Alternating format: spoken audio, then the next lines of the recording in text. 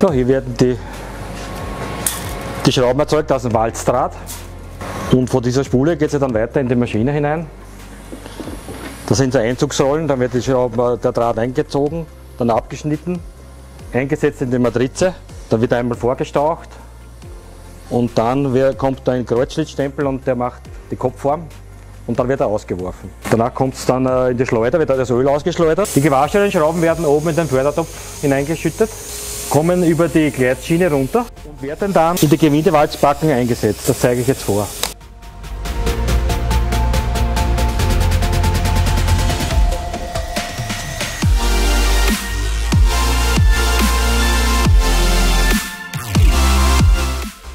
Gewindewalzbacken für die Gewindemaschine. Die haben so Rillen drin für die Steigung. Und so werden sie dann eingebaut. Eigentlich drin auf der Maschine.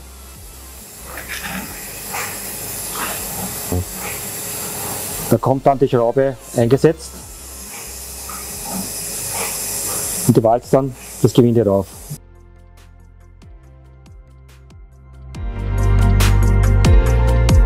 Wir erzeugen hier metrische Schrauben von M2,5 bis M6 mit einer maximalen Länge von 28 mm im Selbstschneidebereich der Schrauben sind wir aufgestellt vom Durchmesser 2,2 bis zu Durchmesser 4,7, abermals wieder mit einer maximalen Länge von 28 mm.